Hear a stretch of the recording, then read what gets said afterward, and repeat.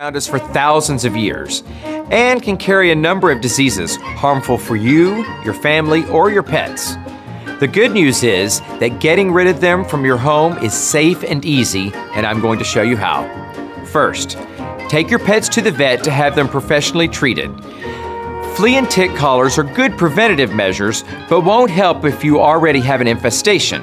While your pet is getting treated, wash all of their bedding and vacuum everything in your home.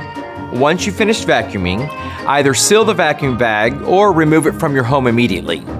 Concentrate on all the crevices where ticks may hide.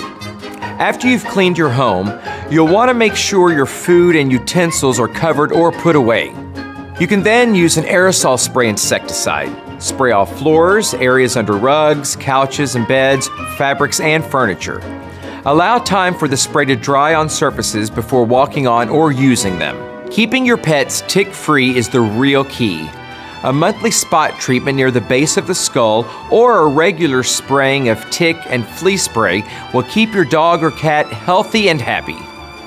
It's just that easy to solve your tick problem, allowing you to enjoy life with your family and pets.